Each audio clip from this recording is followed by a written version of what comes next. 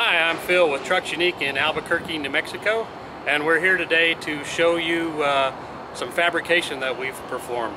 We started out with a plain flatbed like you see here made by CM Truck Beds, and we modified it to make a cone truck for the DOT. So I'll show you that now.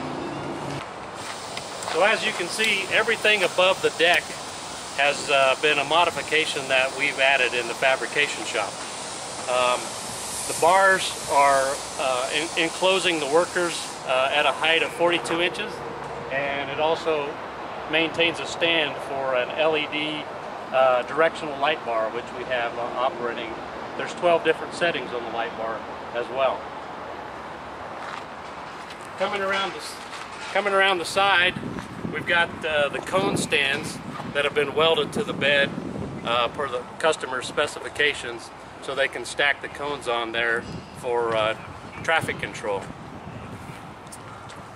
Along the side here you can see we've removed the deck and built a platform for a worker to be able to stand. So I'll show you and demonstrate how this works at this point.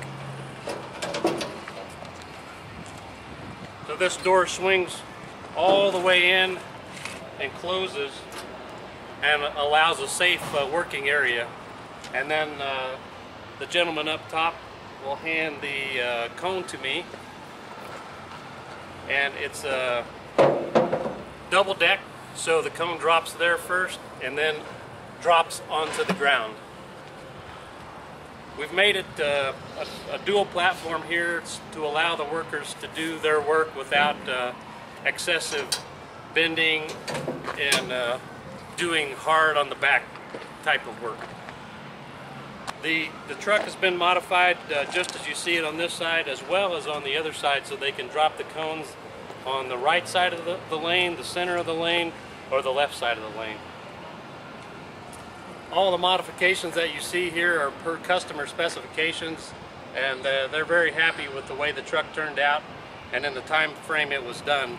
So if you have any fabrication work that you need to have performed, please give us a call at 884-5749 or come by the store at 4914 Pan American in between Montgomery and Jefferson on the east side of I-25.